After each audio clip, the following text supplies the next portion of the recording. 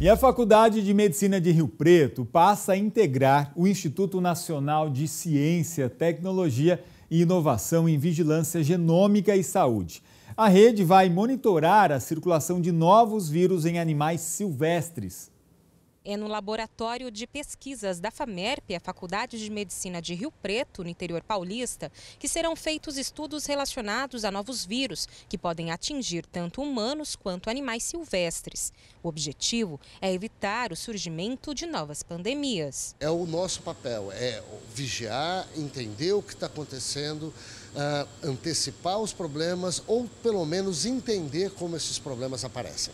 FAMERP passa a integrar uma rede de estudos que conta com a parceria de quatro estados brasileiros, além de Estados Unidos, Alemanha e Reino Unido. O Instituto Nacional de Ciência, Tecnologia e Inovação em Vigilância Genômica e Saúde deve receber mais de 5 milhões de reais do CAPS para investir em pesquisas de alto nível, a longo prazo, em redes nacionais e internacionais de cooperação científica o fato de fazer parte dessa rede, e mais ainda ser a vice-coordenação dessa rede, é uma, uma demonstração de prestígio institucional e reconhecimento do nosso uh, trabalho na região.